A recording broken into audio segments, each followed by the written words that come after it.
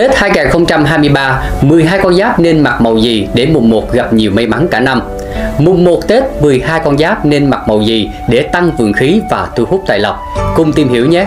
Thứ nhất, tuổi Tý nên chọn màu vàng cả năm hạnh phúc, gặp dữ hóa lành. Tuổi Sửu màu đỏ làm đầu tháng đó. Tuổi Dần đỏ cam thu hút tài lộc, mở nhiều cơ hội. Tuổi Mão tím nâu xám, tình duyên thuận lợi, thịnh vượng, an khang. Tuổi Thìn đỏ sức khỏe dồi dào, hạnh phúc viên mãn.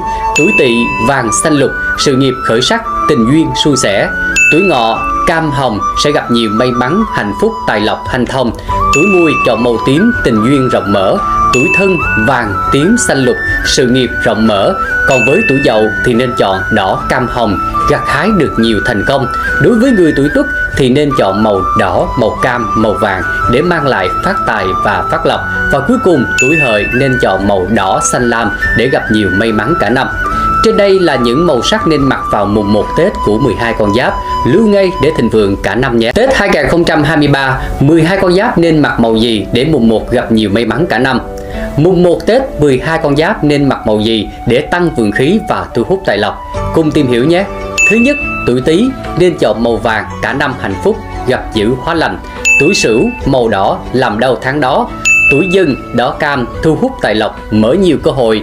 Tuổi Mão tím nâu xám, tình duyên thuận lợi, thịnh vượng, an khang. Tuổi Thìn đỏ sức khỏe dồi dào, hạnh phúc viên mãn. Tuổi Tỵ vàng xanh lục, sự nghiệp khởi sắc, tình duyên suôn sẻ.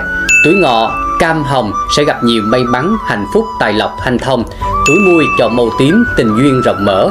Tuổi Thân vàng, tím, xanh lục, sự nghiệp rộng mở. Còn với tuổi Dậu thì nên chọn đỏ, cam hồng, gặt hái được nhiều thành công.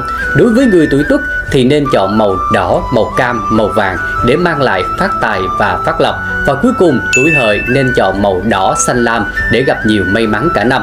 Trên đây là những màu sắc nên mặc vào mùng 1 Tết của 12 con giáp, lưu ngay để thịnh vượng cả năm nhé.